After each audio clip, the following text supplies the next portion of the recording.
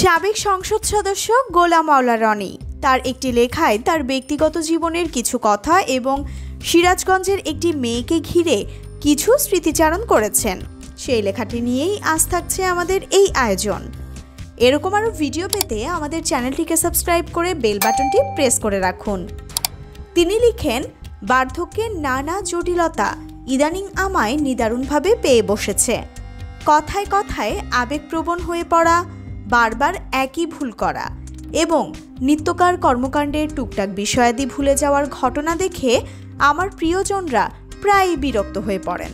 অথচ আমার যে বয়স, তাতে এমনটি হওয়ার কথা নয়। অথচ আমি তো এমন ছিলাম না। করোনা মহামারী শুরু হওয়ার আগ পর্যন্ত আমি ছিলাম জীবনযুদ্ধে মরণপণ লড়াইরত এক সংগ্রামী মানুষ। সেই উনিশশো সাতাশি সাল থেকে যে কর্মজীবন শুরু করেছিলাম, তা আজও একই গতিতে চলছে। এখনও দৈনিক আঠারো ঘণ্টা শ্রম করি, কোনো সাপ্তাহিক ছুটি, বিনোদন বা আনন্দ ফুর্তির পেছনে সময় নষ্ট করি না। কিন্তু আজ থেকে দুই তিন বছর আগে দৈনিক আঠারো ঘণ্টার শ্রমে যে কর্মশক্তি ছিল এবং কর্মের বিনিময়ে যে সফলতা ছিল, তা এখন কমে দশ ভাগের এক ভাগে দাঁড়িয়েছে। ভদ্রলোকের সাথে কথা শেষ করার পরই নিজেকে নিয়ে আমার ভারী চিন্তা হলো। আমি স্মরণ করার চেষ্টা করলাম আমার সফলতম কর্মব্যস্ত দিনগুলো। ভোর পাঁচটায় বাসা থেকে রওনা হয়ে সকাল সাতটার মধ্যে সাভারের ফ্যাক্টরিতে পৌঁছানো হাজার হাজার শ্রমিক কর্মচারীর শত অভাব, অভিযোগ, হইচই, ক্রেতাদের উপর্যুপরি চাপ, ব্যাংক, বন্দর, কাস্টমসের হাজারো জটিলতা কাটিয়ে মাসে শত কোটি টাকার পণ্য রফতানি ছাড়াও অন্যান্য ব্যবসা বিদেশে ভ্রমণে গিয়ে এক নাগারে এক সপ্তাহের নির্ঘুম কর্মমুখর সফর, সাংবাদিকতা, রাজনীতি টকশো পরিবারকে সময় দেয়া ইত্যাদি যত সব কর্ম। কই, কোথাও তো ক্লান্তি অনুভব করিনি? ছোটোখাটো ভুল তো হয়নি?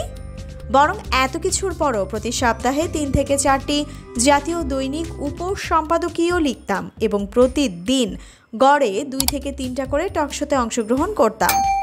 আমার এত সব কাজের মধ্যেও সব কিছু নিয়মতান্ত্রিকভাবেই চলতো। সব সময় সুটেড বুটেড থাকতাম। এখনকার মতো চশমা লাগতো না, কিংবা হাজারো সতর্কতা সত্ত্বেও প্যান্টের চেন লাগাতে এখন যেভাবে মাঝে মধ্যে ভুলে যাই অমনটি তো সেকালে কল্পনাও করতে পারতাম না। একসময় নিজের স্মরণশক্তির জন্য বড়াই করতাম, আর এখন চশমা, মানিব্যাগ, কলম ইত্যাদি খোঁজার জন্য রোজ কমপক্ষে এক ঘণ্টা সময় অপব্যয় হয়। একটু কথা বললে হাঁপানির ব্যায়ামও শুরু হয় এবং খাবার দাবার গ্রহণে সামান্য ত্রুটি হলেই শরীরের মধ্যে কালবৈশাখী ঝড় এবং পেটের মধ্যে সুনামি আরম্ভ হয়ে যায়।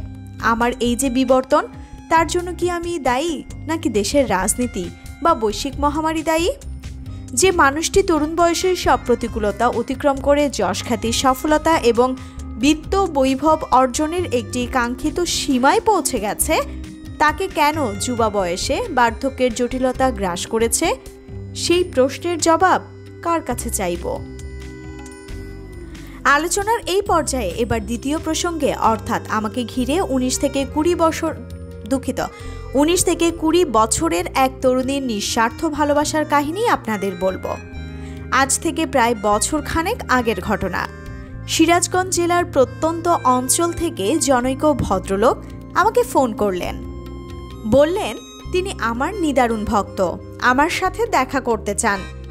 তাকে ধন্যবাদ জানিয়ে আমার অফিসের ঠিকানা দিয়ে কথা শেষ করলাম। কিছুক্ষণ পর ভদ্রলোক আবার ফোন দিয়ে জানালেন যে, তার একটি দুধেল গাভী রয়েছে এবং কয়েকদিন আগে তার বাড়িতে একটি মৌচাক ভাঙা হয়েছে। সুতরাং তিনি আমার জন্য কিছু দুধ মধু এবং সিরাজগঞ্জের ঐতিহ্যবাহী ঘি উপহার হিসেবে নিয়ে আসার জন্য অনুমতি চান। আমি তাকে সাধ্যমতো বারণ করলাম, কিন্তু তিনি এমন সব আবেগী কথাবার্তা শুরু করলেন, যার ফলে আমি এরকম বাধ্য হয়েই তার প্রস্তাবে সম্মতি জানালাম। উল্লেখিত ঘটনার সপ্তাহখানেক পর, একদিন খুব সকালে আমার বাসায় ভদ্রলোক তার উনিশ থেকে কুড়ি বছর বয়সী মেয়েকে নিয়ে হাজির হলেন।